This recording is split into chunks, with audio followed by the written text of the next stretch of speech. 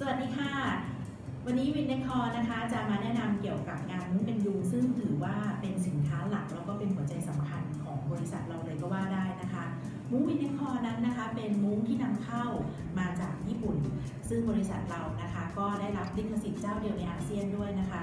แต่ว่าในปัจจุบันเนี่ยมุ้งจีบมีเยอะแยะมากมายเลยค่ะในท้องตลาด จะดูได้ยังไงว่า ตัวไหนเป็นมุ้งของ WINDECORอ่ามาดูกันเลย ลินคอร์นะคะ มี 2 สี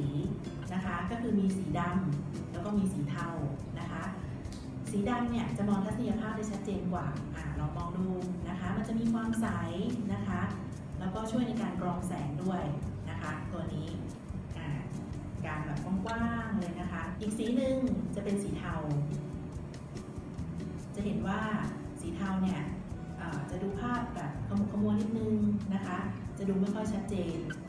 เนื้อมุ้งเนี่ยทำมาจากเนื้อ PP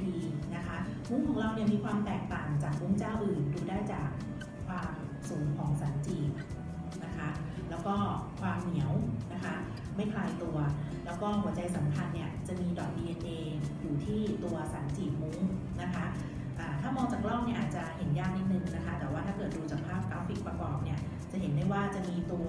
เหมือนจุดไข่ปลานะคะ อยู่บริเวณสัน เราเนี่ยจะรับแรงลมได้ดีด้วย ทีนี้เราลองมาดูว่า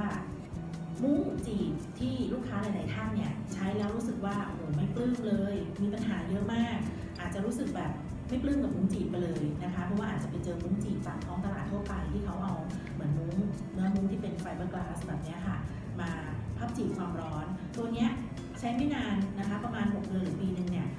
มันจะคลายตัว ลองจับตัวเนื้อมุ้งได้เลยว่ามันจะมี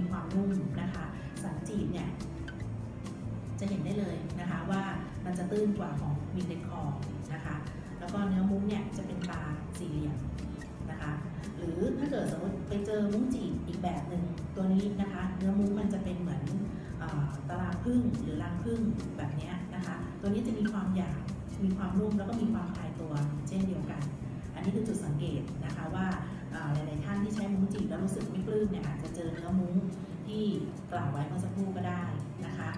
นี้ก็คือให้เห็นความแตกต่างของเนื้อมุ้งก่อนนะคะมุ้งของเราเนี่ยทำความสูงตอนนี้ได้ถึง4เมตร40นะคะมีความคงทนแข็งแรง จะเห็นได้ว่าถ้าเราเอามือนะคะรูปไปที่เนื้อมุ้งนะคะแล้วทำการพับเก็บแล้วดึงกลับมาใช้งานครั้งหนึ่งมุ้งของเรานะคะ ก็สามารถคืนตัวได้อย่างสวยงาม อันนี้เป็นเกร็ดเล็กๆน้อยๆนะคะ ที่ลูกค้า